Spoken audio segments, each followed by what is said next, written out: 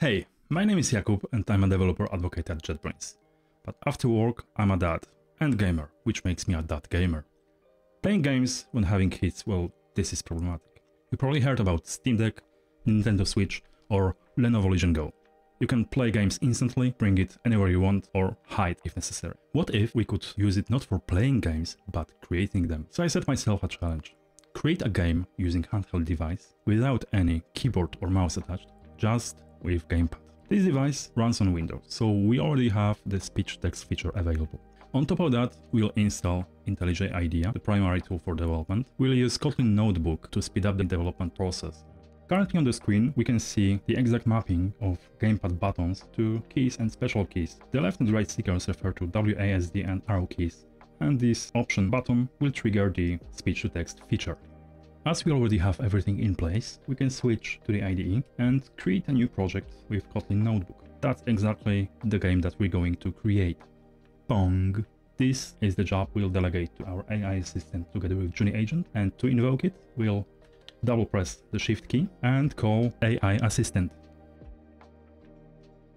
Using Kotlin language and swing, in the current Kotlin notebook file, create a Pong game. For the left player use WASD keys, WS to move the paddle up and down, and for the right one, arrow keys, up and down for the right paddle. Okay, we already have some initial results. The score is not visible, it is using some placeholder variables. Okay, the patch is applied. Let's run it again. We can see the score is currently changing. Now allow to fire projectiles from each paddle to score extra points when they hit the opponent. Yes, uh, as you can see, we do not need to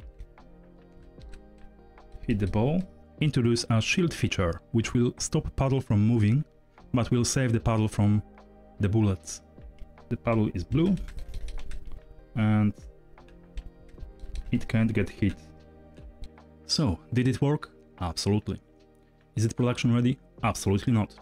But using Kotlin Notebook, you can really shorten the feedback loop, use it for presentation or proof of concept of your new features. AI is a great addition to your workflow, but remember, it's not a replacement, so use it wisely, and it's up to you which results you will get thanks to them. What can I say? That was a game changer. And now, if you excuse me, I have kids to pick up from school.